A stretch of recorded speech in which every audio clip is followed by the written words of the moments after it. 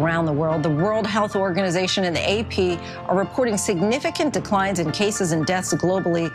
We take a look. With more than 200 officers already tapping out in the first two months of this year. Police are turning in their badges as vacancies climb by the week. As It's a development of monumental importance. A former president indicted by the government that he once led, facing at least seven serious charges that are потужної проти України і не буде е, широкої ескалації з боку Російської Федерації.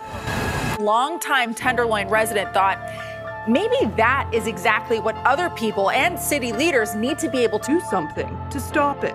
I know it's complicated. I know, um, you know, everybody has an opinion. What None of this absolves Congress the responsibility. He was very nervous, and the kid, he's a teenager. Uh, he was very frightened. Running towards the satanic temple of the evil billionaire Jeffrey Epstein on his private island swarming with. Border, a surge of migrant crossings is straining state resources. It's people are going to fall through the cracks. Off between Federal Border Patrol and Texas state officials is intensifying following a Supreme Court ruling. Copy of his remarks that reveals targets to be water treatment plants.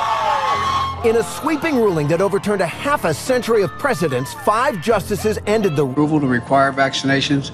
I call on you now to do that. Require it. Okay, good morning, everybody. The Pentagon was quick to follow the president's lead. The department is prepared to issue updated guidance requiring all service members to be vaccinated.